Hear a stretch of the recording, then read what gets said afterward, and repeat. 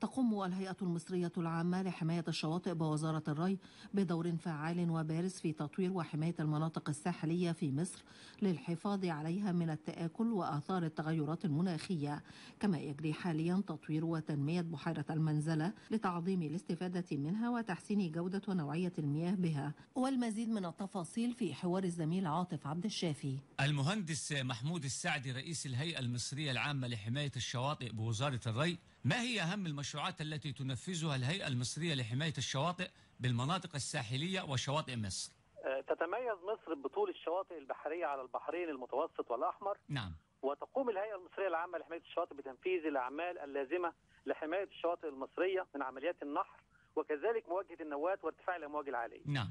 فحاليا جاري تنفيذ عدد 25 عملية لحماية السواحل المصرية من آثار ارتفاع الأمواج ولمقاومة عمليات النحر. أهم هذه المشروعات يا فندم؟ يعني مدينة الإسكندرية بننفذ فيها ست عمليات. لحماية أول عملية لحماية طريق الكورنيش واستعادة الشواطئ المفقودة فيتم حاليا في المنطقة عمل حماية في المنطقة من بير مسعود وحتى المحروسة. نعم. وعملية أخرى لحماية الطريق الطريق الكورنيش في المنطقة المواجهة للمنشية ولمحطة الرمل. نعم.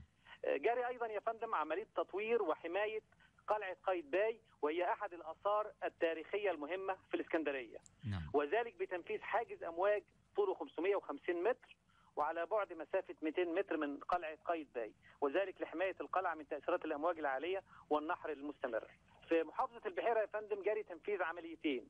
إحدى العمليتين دول تدعيم وإعادة تأهيل طبية العبد. نعم. آه، طبية العبد أحد الآثار برضو المهمة في مدينة رشيد فبيتم عملية تأهيل للطابية وللمحافظة على الطابية وإعادة تأهيلها. العملية الأخرى يا فندم تدعيم الحائط الغربي بمدينة رشيد. نعم. حيث أنه يوجد نحر شديد أمام الحائط فيتم رفع الكتل القديمة اللي هي المكسورة وإنزال كتل جديدة لمواجهة مشكلة النحر أمام الحائط. بالنسبة لبورسعيد يا فندم وكفر الشيخ كفر الشيخ يا فندم بيجاري حاليا برضه تنفيذ عملية لحماية المنطقة الساحلية شمال المزرعة السمكية ببركه غليون. نعم. آه، طبعا لحماية المنطقة ديت لأن فيها استثمارات عالية واستثمارات كبيرة. في بورسعيد يا فندم جاري تنفيذ 12 عملية منهم ست عمليات طبعا بحيرة المنزلة مشروع تنمية بحيرة المنزلة ده مشروع قومي واتقسم المشروع تنمية بحيرة المنزلة على ثلاث مراحل.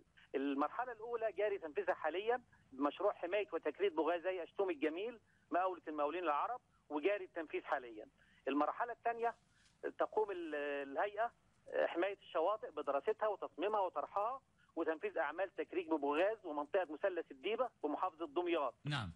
ال- المرحلة الثالثة يا فندم تمثل في قيام الوزارات المعنية بالبحيرة اللي هي ال- ال- المحيطة بالبحيرة بالتعاون مع مع المحافظات على الواقع على البحيرة. تنفيذ مهمها لعلاج مشاكل الصرف الصحي لأن للأسف طبعا في صرف صحي وصرف صناعي بيصب على بحيرة المنزلة.